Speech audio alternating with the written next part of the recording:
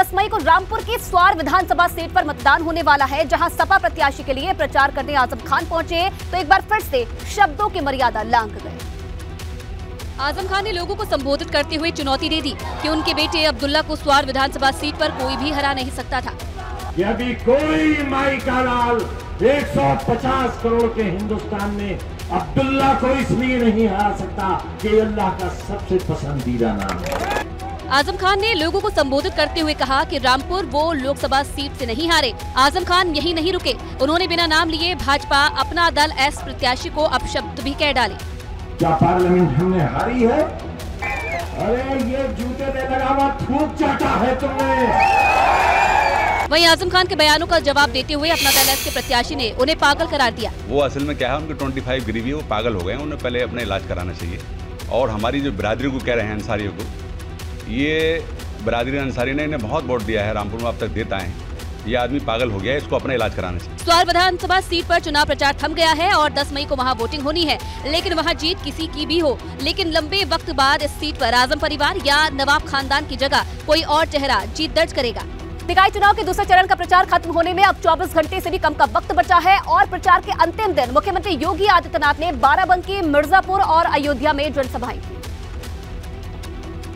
बाराबंकी की जनसभा में लोगों को संबोधित करते हुए मुख्यमंत्री योगी आदित्यनाथ ने कहा कि नगर निकाय चुनाव सपा बसपा के सफ़ाई का चुनाव है। कूड़ा नहीं, ये सपा बसपा के कचड़े को साफ़ करने का चुनाव है। उनकी गंदगी को सफ़ाई करने का, उनकी अराजकता और उनकी अवसरवादिता को साफ़ करने का चुनाव है।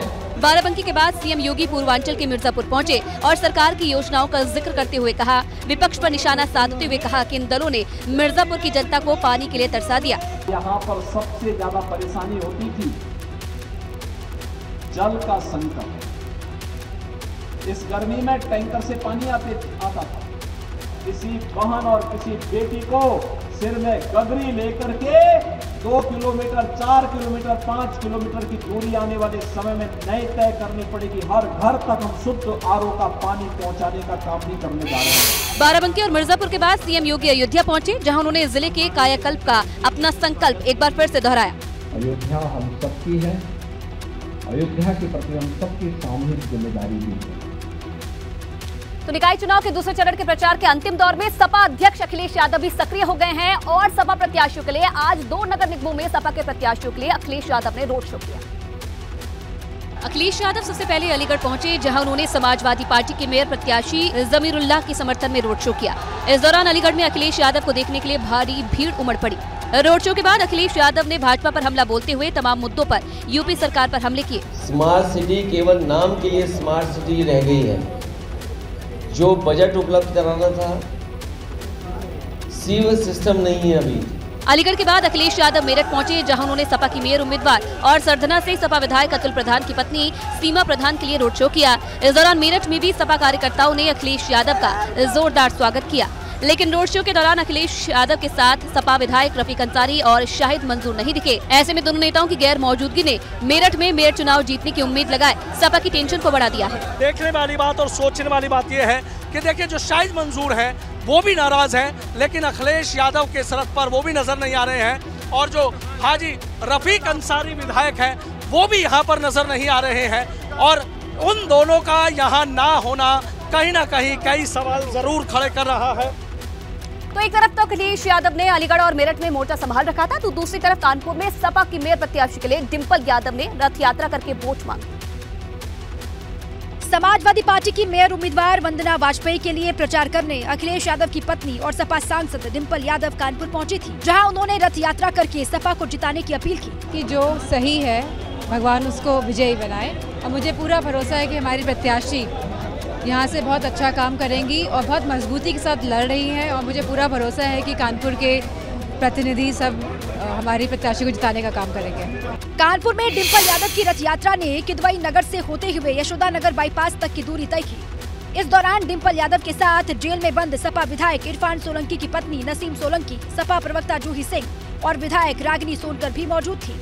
डिम्पल यादव हैं और वंदना वाजपेयी, जो प्रत्याशी हैं, नसीम सोलंकी हैं जो इरफान की पत्नी है और हाथ हिला करके अभिवादन स्वीकार कर रही हैं और ये रथ आज कानपुर की सड़क पर ऐसे ही घूम रहा है और पीछे ये समाजवादी पार्टी के कार्यकर्ता हैं। कानपुर में मेयर पद के लिए भाजपा और सपा के बीच कांटे की टक्कर चल रही है। एक तरफ़ भाजपा ने मौजूदा मेयर प्रमिला पांडे को मैदान में उतारा है तो दूसरी तरफ़ सपा ने विधायक अमिताभ वाजपेयी की पत्नी आरोप दाव लगाया है।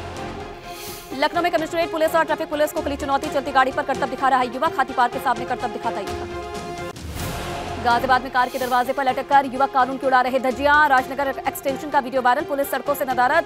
थाना नंदग्राम क्षेत्र का लखीमपुर खीरी में सोनारीपुर वन रेंज क्षेत्र में हाथियों ने जिप्सी को दौड़ाया। बाल बाल बची सवारियों की जान। दुधवा नेशनल पार्क इलाके का बुलंदशहर में अनोखे अंदाज में निकाय चुनाव का प्रचार। भाजपा से सदर विधायक प्रदीप चौधरी खुद ही ई रिक्शा चलाकर कर रहे प्रचार। भाजपा प्रत्याशी के पक्ष में मांग रहे वोट। ग्रेटर नोएडा में कार के शोरूम में लगी भीषण आग। दो लग्जरी कार जलकर हुई खाक। आग लगने के बाद आसमान में छाए काले बादल। बीटा टू थाना क्षेत्र का मामला। बिजनौर में आवारा कुत्ते बारासिंगा के पीछे पड़े। सूचना पर वन विभाग की टीम ने बारासिंगा को पकड़कर जंगल में छोड़ा। थाना सियोहरा के कस्बे का है मामला। अमेठी में पति ने पत्नी की धारदार हथियार से की हत्या। घटना को अंजाम देकर पति मौके से फरार। पुलिस ने शव को कब्जे में लेकर जाँच शुरू। कन्नौज में दो दिन से लापता सात वर्षीय बच्ची का मिला शव। पीड़ित परिजनों ने हत्या का लगाया आरोप। पुलिस पूरे मामले की जाँच में जुटी। कन्नौज के कालग्राम थाना इलाके का मामला। नोएडा में पुलिस और इनकम टैक्स विभाग की बड़ी कार्रवाई, एक संदिग्ध कार से भारी तादाद में कैश बरामद, कार में सवार चार लोगों को हिरासत में लिया। नोएडा के सेक्टर सैंतीस की तरफ़ खड़ी थी कार झांसी में कलयू की बेटी ने बासठ साल के बुज़ुर्ग पिता की हत्या की। पुलिस ने शव को कब्जे में लेकर पोस्टमार्टम के लिए भेजा। पुलिस ने हत्यारोपी बेटे को किया गिरफ़्तार। गाजियाबाद के एलिवेटेड रोड पर पार्टी करते वीडियो वायरल। दिल्ली से आकर यूपी ने एलिवेटेड रोड पर मनाया जन्मदिन का जश्न। पुलिस ने सात युवकों को गिरफ़्तार किया।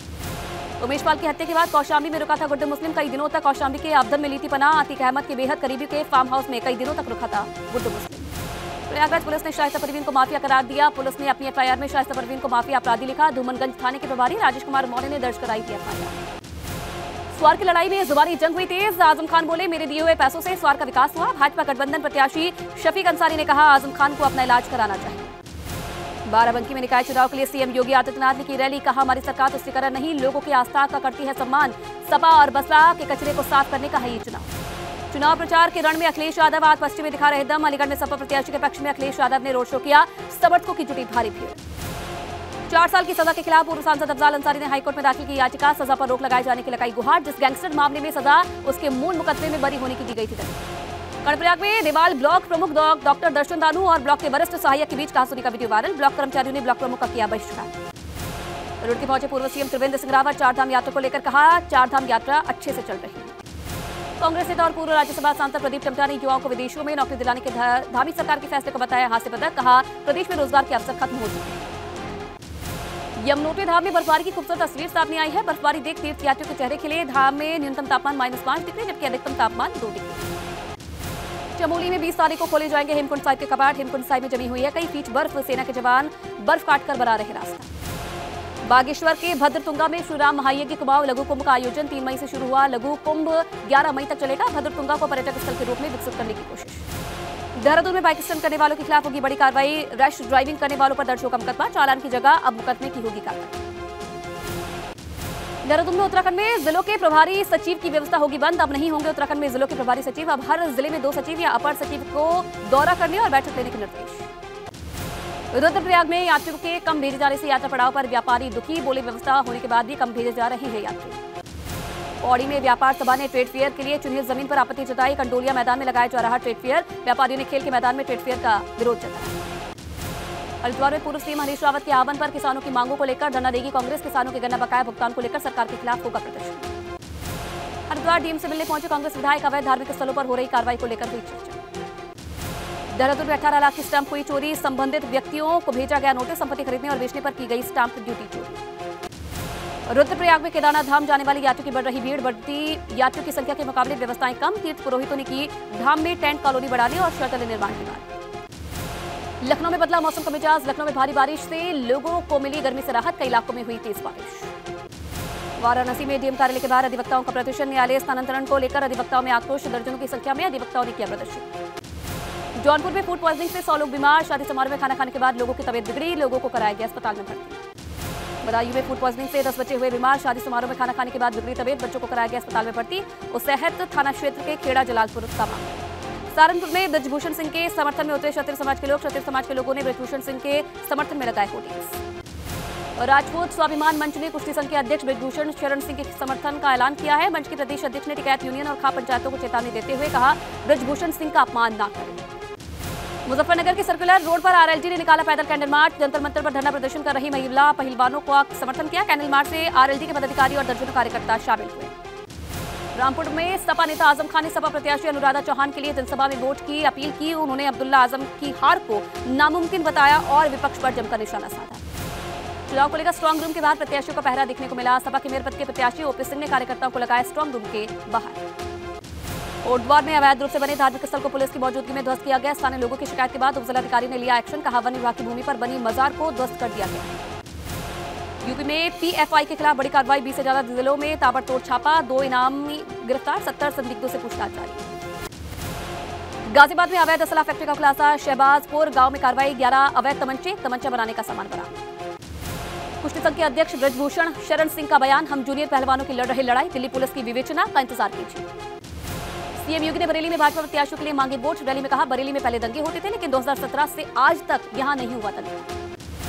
मऊ में मंत्री एके शर्मा ने मऊ नगर निकाय चुनाव का संकल्प पत्र जारी किया। व्यापारियों के सामने पेश किया विकास का खाका।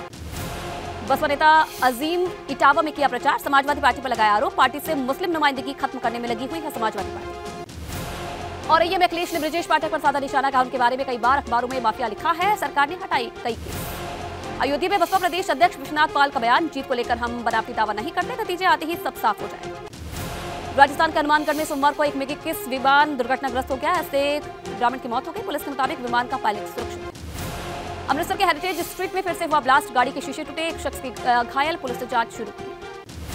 हेरिटेज स्ट्रीट में संदिग्ध धमाके की जाँच के लिए पुलिस फॉरेंसिक टीम पहुँची।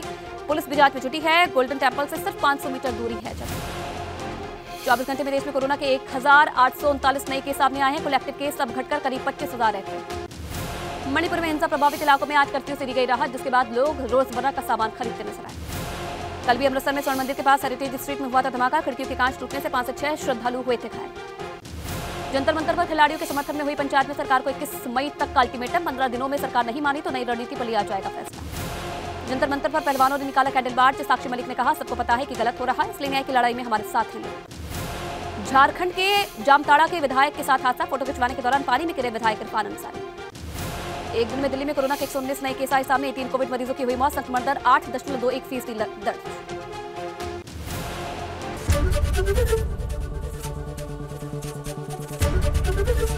एबीपी गंगा, खबर आपकी जुबा आपकी।